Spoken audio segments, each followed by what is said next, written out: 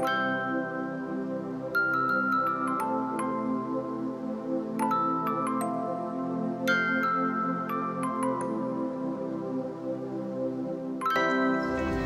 everyone, uh, I'm Kiran Kalakuntla, founder of uh, ekincare.com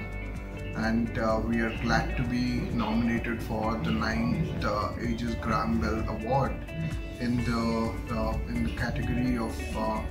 um, applications for enterprises. And uh, one of the main problems that we are trying to solve is uh, if you look at the corporate India is struggling with the burden of uh, chronic diseases.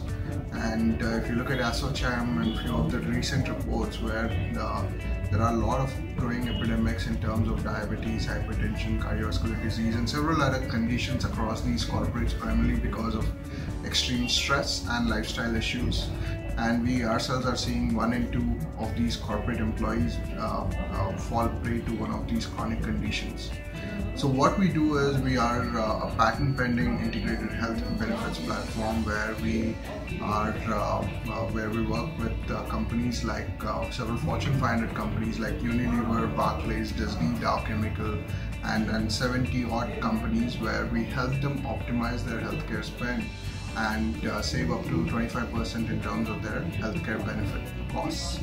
And how we do about it is in the back end we are connected with roughly 15, more than 1500 partners where we are able to do health checks,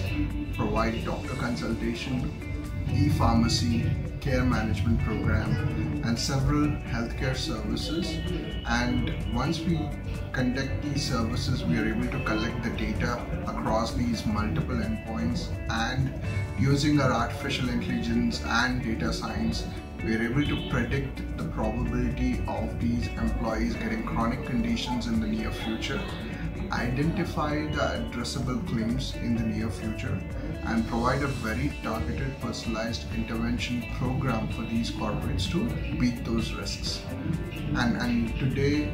we've been very successful in providing that case study using our technology data science and our curated network of service providers and we look forward to expanding more in the near future across India, Asia and beyond Asia Pacific. Um, I, I, thank everyone for giving me this opportunity and we look forward to presenting our product um, at the end of this uh, next month and I wish all the participants very best towards their future goals.